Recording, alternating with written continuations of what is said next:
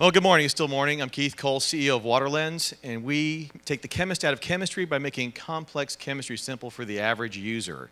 We've developed a test that does fast, accurate, dirt simple way to test water quality on location in a matter of minutes.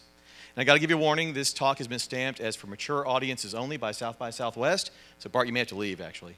Um, because I'm going to use a four-letter word that begins with F a lot today, and some of you may find it offensive, and the word is frack.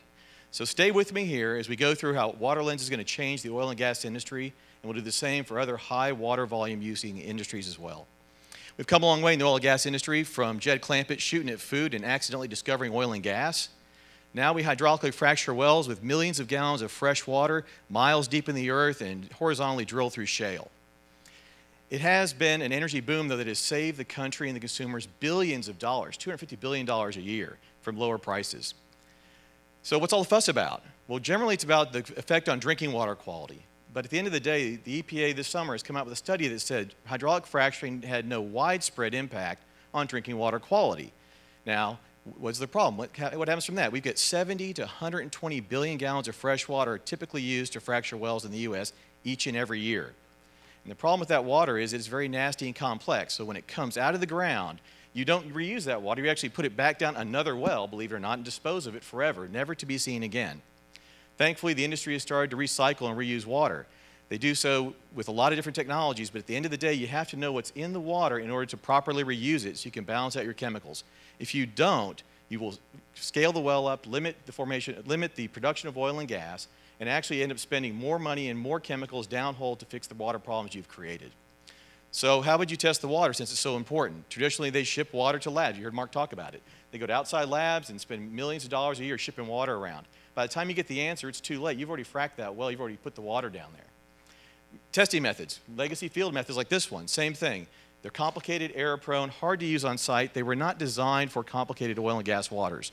WaterLens is designed for that. It's a very simple test to use. All you do, our chemistry is freeze dried into these trays. You put the water in the tray, and in about 10 minutes, you have a complete water analysis for 15 chemicals and counting, 15 contaminants and counting that you need to measure water quality. And this is so simple, my eight year old and 12 year old daughter can do it. So it's very, very simple to use, and most oilfield guys can handle it as well. Now, at the end of the day, though, it's, it's uh, about revenue. So we have a razor razor blade model here. These are single use. We have an all-star team of chemists and supramolecular analytical PhDs that help us with the chemistry. And I think the best way to remember Water Lens is to think of us this way. We're bringing the power of a full-scale lab to places like this, and soon to places like this in agriculture, pulp and paper, power generation, and livestock. Thank you.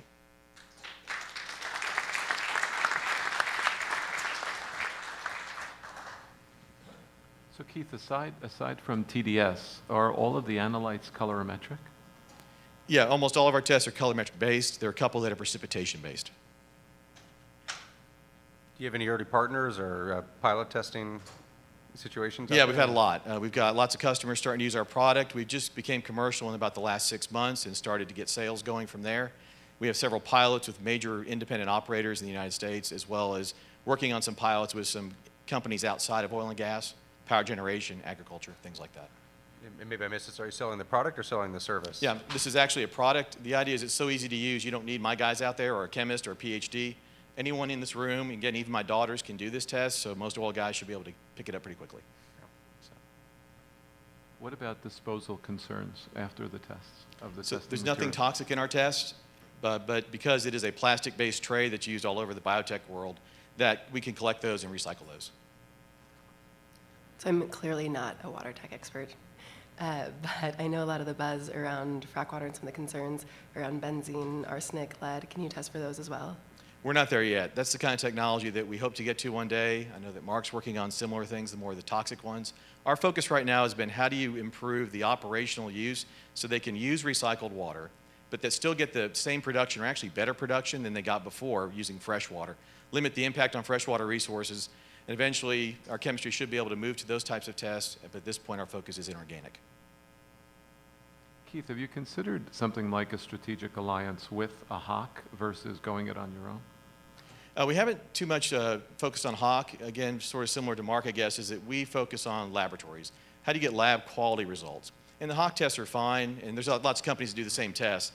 with a trained chemist in a controlled environment, they do okay, right? But for complex, nasty waters like oil field, paper mills, food processing, they have their problems, interferences, techni- technical problems with the user trying to do the test, lots of steps.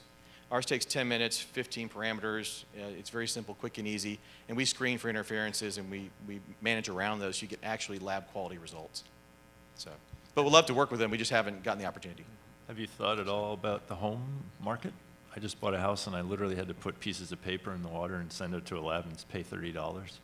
Yeah, we hope to get there one day as we shrink our form factor down from a 96 well plate tray format to something that's more economical and, and compact.